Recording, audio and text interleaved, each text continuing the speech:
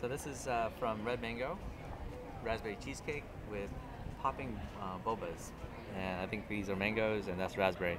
When you bite into it, it's a thin skin and it pops uh, this really flavorful juice out. It's kind of like um, the fish oil pills that you take, vitamin E. Yeah, it's totally not like that at all. but, but better tasting. but it looks like uh, frog eggs or salmon roe, like extra large.